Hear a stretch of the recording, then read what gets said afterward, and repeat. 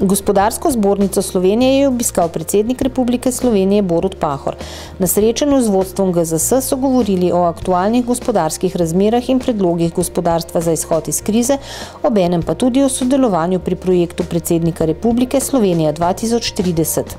Projekt, ki poskuša pogledati čez eh, mandat ene ali druge vlade in eh, ugotoviti, v katero smer naj se pravzaprav strateško giblje tako slovenska ekonomija kot slovenska družba.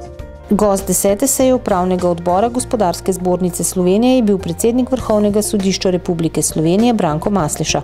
Skupaj s sodelavci se je z gospodarstveniki pogovarjal o postopkih prenove poslovnih procesov sodišč, ki bi prispevali k večji učinkovitosti sodnih postopkov in pravičnejšim sodnim odločitvam. E, predvsem eh, želimo tukaj doseči, eh, da, se, eh, da, da bo izvršba bolj učinkovita.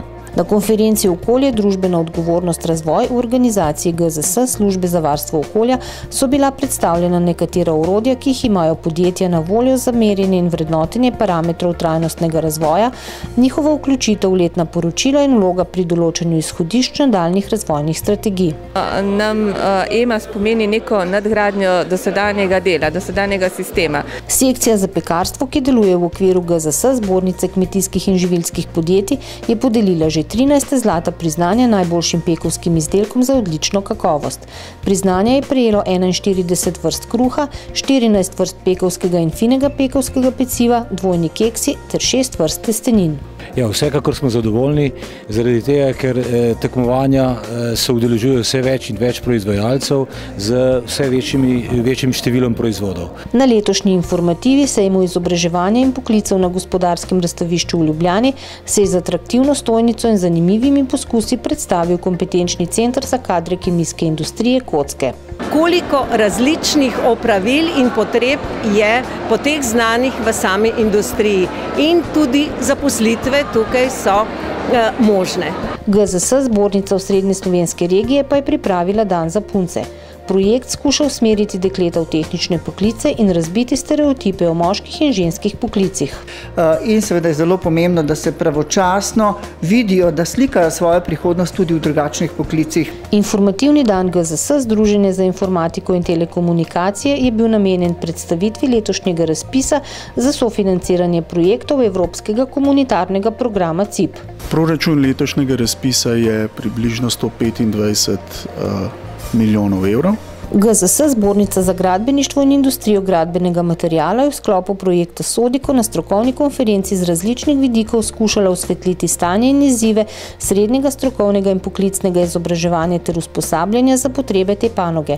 Ena od tem posveta so bili tudi paritetni skladi, njihova primernost in način zasnove za potrebe v gradbeni dejavnosti. Paritetni skladi so neka dodatna varnost za zaposlene, kot tudi delodajalce, da panoga v kriznih razmerah bolje funkcionira.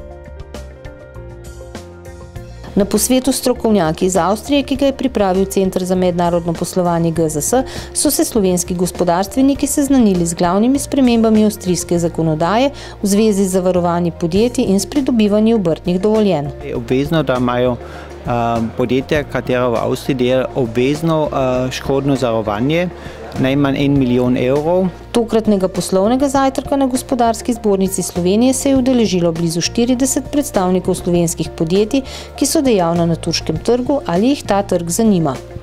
Vsekakor so možnosti velike, ne? če dobro vemo, da Turčija raste z leta v leto kljub eh, gospodarski krizi. Več kot 80 udeležencev konference, ki ste jo skupaj pripravili GZS in Carinska uprava Republike Slovenije, se je podrobno seznanilo s carinskimi postopki, pomembnimi pri poslovanju z državami izven skupnosti. Na kaj morajo biti podjetja še posebej pozorna? Ja, pozorno pač morajo biti na pravila, ki veljajo za samo izvoz, pravilo poreklo, mora biti pozorno tudi na same eh, zunane trgovinske omejitve, ki veljajo na izvozu, predvsem je to blago z dvojno rabo. Osrednja tema februarskega srečanja predstavnikov Gospodarske zbornice Slovenije in Ministrstva za gospodarski razvoj in tehnologijo je bilo oživljanje gospodarstva z novimi strateškimi investicijami, razpravljali pa so še o internacionalizaciji slovenskega gospodarstva, zakonu o kmetijskih zemljiščih ter davku na sladke pijače. 14 milijonov je sicer majhna cifra za Slovenijo, ampak velika za uh, slovensko industrijo proizvajalcev pijač.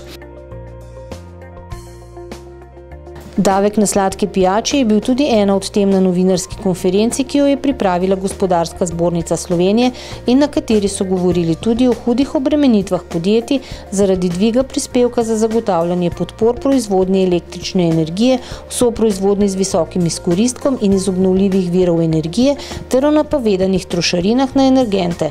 Če bomo za takimi, eh, takimi eh, ukrepi destimulirali izvozno naravnano gospodarstvo, eh, bomo ne samo povzročili škodo temu gospodarstvu, ampak bomo ostali brez to vrstnega gospodarstva. Mi potrebujemo, kot rečeno, hitro, neko kompetentno vlado s kompetentnimi strokovnjaki in zelo jasno strategijo, kaj bojo njihovi glavni cilji in kako jih bodo tudi dosegli. Je poudaril predsednik GZS, magistr Samo Hribar Milič na novinarski konferenci, kjer so predstavniki Gospodarske zbornice Slovenije dan po izvolitvi nove mandatarke predstavili predloge za novo koalicijsko pogodbo ter spregovorili tudi o stališčih gospodarstva v zvezi z reformo trga dela in nevarnostih dodatnih obremenitev za gospodarstvo.